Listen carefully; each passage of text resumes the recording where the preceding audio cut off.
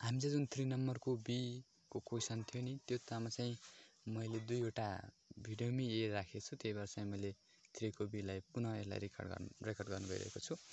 हामीले चाहिँ जुन थ्रीको बीलाई सल्भ गर्ने क्रममा चाहिँ हामीलाई के भनेको छ सुरुमै एसी भनेको कति छ? फाइभ सेन्टिमिटर हो। बिसी भनेपछि कति छ? फोर्टी सेन्टिमिटर अहिले मैले बिसी बेस लिनुको कारण के त भनेपछि जुन हामीलाई यो angle A B C is equals to forty five degree भनेको छ नि त यो फोर्टी फाइभ।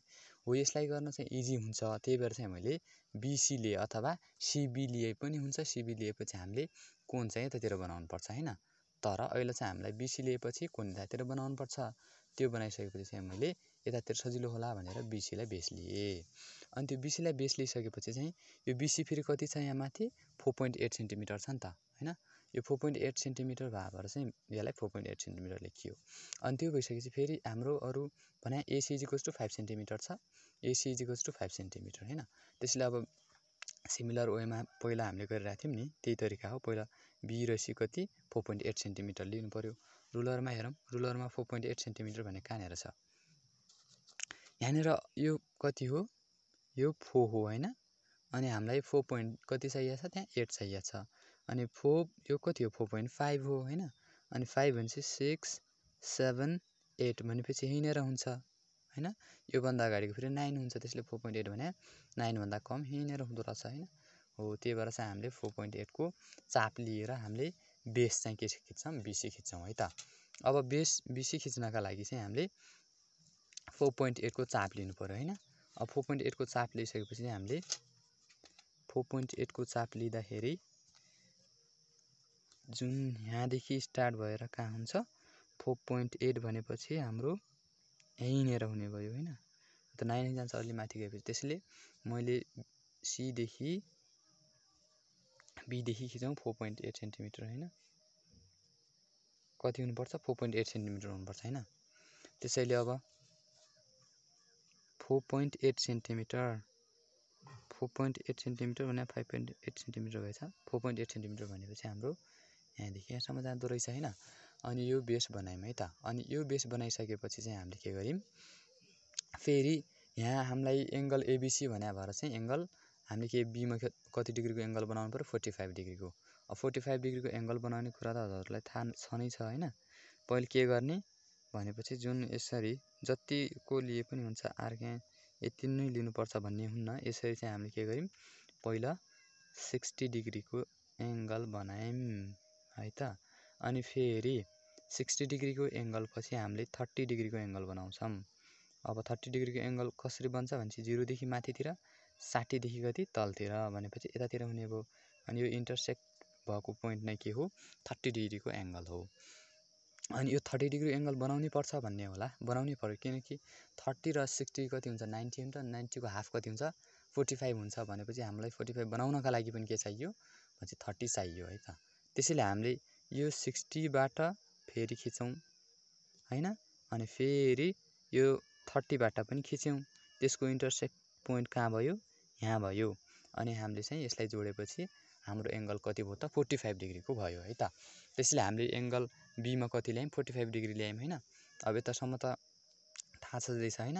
अब यो भइसकेपछि चाहिँ हामीलाई फेरि के भनेको छ भनेपछि अर्को उक्त ट्राइङ्गलसँग बराबर क्षेत्रफल हुने र एउटा भुजा C D is equals to seven point five centimetre भएको छ छ।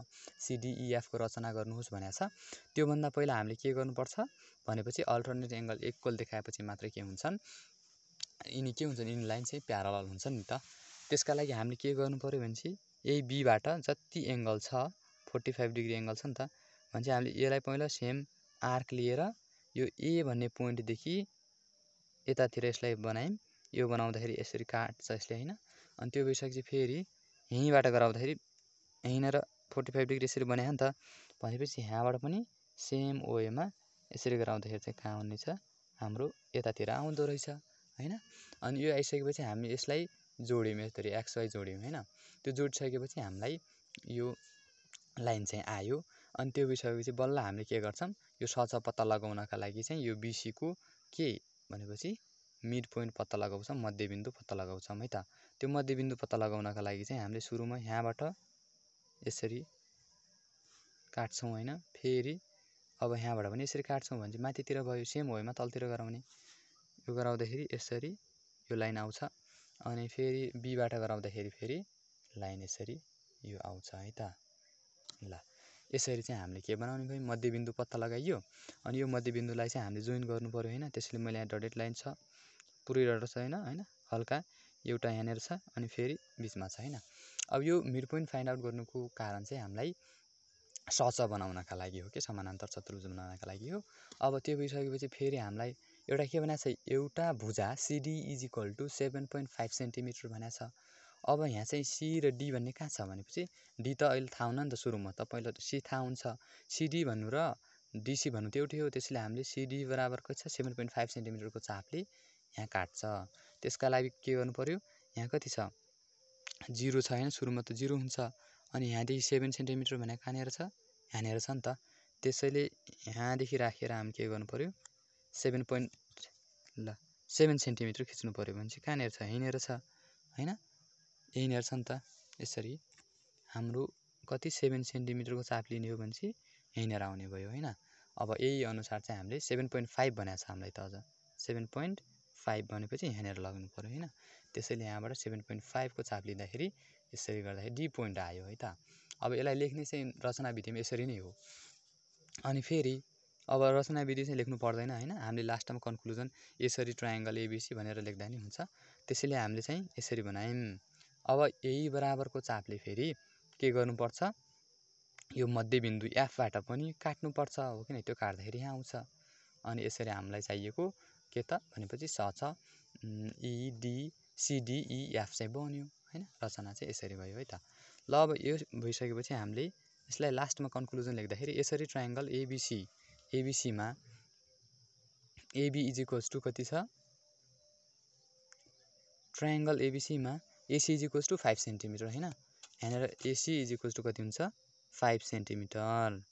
अनि फेरि बिसी इज टु कति छ? फोर पोइन्ट एट सेन्टिमिटर र एङ्गल एबिसी अथवा कुन A B C is equals to forty five degree भएको के त ट्राइङ्गल एबिसीसँग त्रिभुज एबिसीसँग बराबर क्षेत्रफल हुने एउटा भुजा C D is equals to seven point five centimetre भएको समानान्तर चतुर्भुज सिडिइएफको रचना गरियो भनेर हामीले यति कन्क्लुजन लेखे पनि हामीलाई मार्क्स चाहिँ आइहाल्छ है त।